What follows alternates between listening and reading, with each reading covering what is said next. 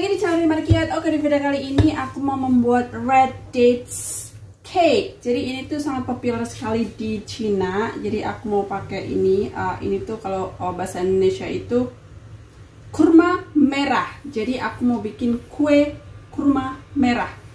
Iya, jadi ini tuh pertama kali aku mau buat ini dan kelihatannya itu uh, sangat mudah sekali. Dan mari kita mulai sekarang.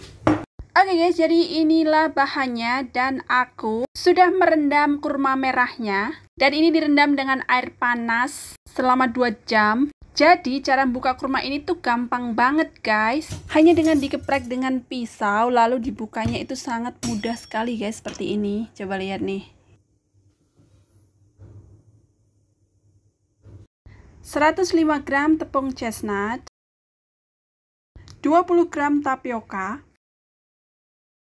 140 gram gula tebu merah, 1 sendok makan minyak sayur, dan 470 ml air.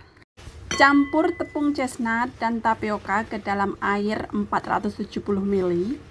Kemudian blender red dates sampai halus.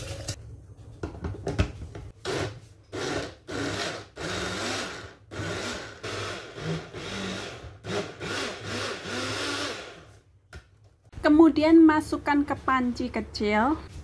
Jadi kalian lihat kan teksturnya itu udah halus banget. Dan sekarang akan aku campurkan gula yang sudah dipotong kecil-kecil. Lalu rebus dengan api kecil supaya gulanya meleleh.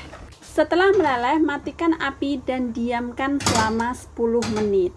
Oke, jadi aku kasih tahu buat kalian, aku pakai pure water chestnut flour yang seperti ini jadi brandnya itu seperti ini. Dan juga tapiokanya itu seperti ini. Aduk adonan terlebih dahulu.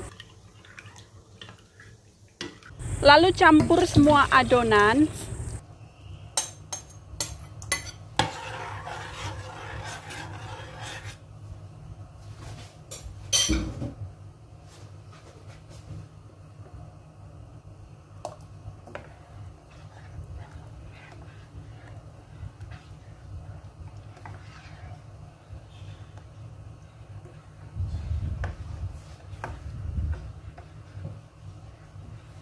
Saring terlebih dahulu untuk mendapatkan adonan yang halus.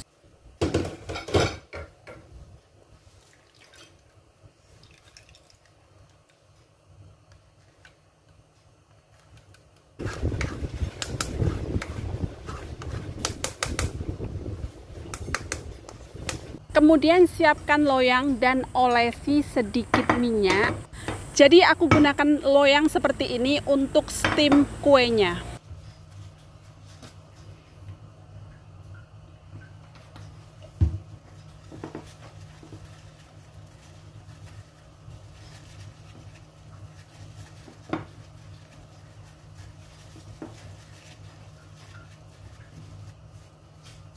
Panaskan loyang terlebih dahulu.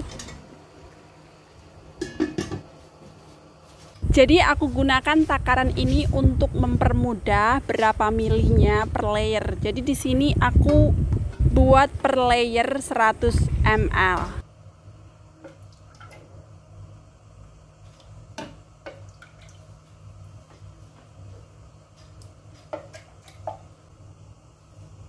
Sekarang masukkan adonan dan steam selama 3 menit per layer. Jangan lupa aduk terlebih dahulu sebelum dimasukkan agar adonan tidak menggumpal.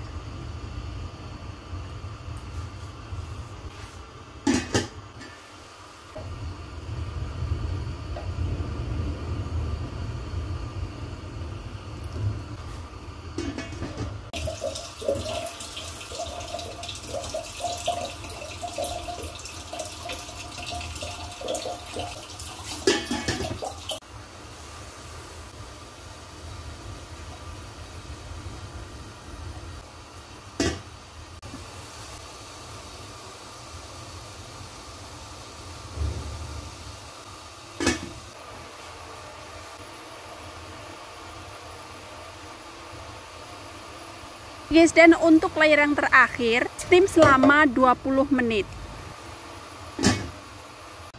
Oke, pada akhirnya kue sudah matang dan dinginkan dulu lalu masukkan ke kulkas. Oke, jadi kalian bisa lihat kan berlayer-layer seperti ini. Jadi kelihatannya seperti kue lapis seperti itu.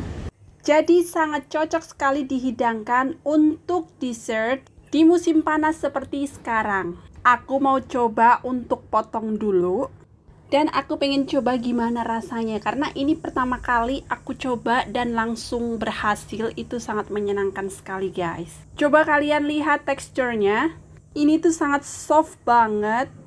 Dan ternyata sangat mudah sekali untuk disobek satu persatu. Jadi berasa kayak makan kue lapis seperti itu tapi versi red dates alias kurma merah. Dan ternyata rasanya enak banget guys jadi sangat rekomendasi sekali untuk kalian mencobanya karena resep ini tuh sangat luar biasa. Oke, sekian dulu dari saya. Sampai jumpa di next video. Bye bye.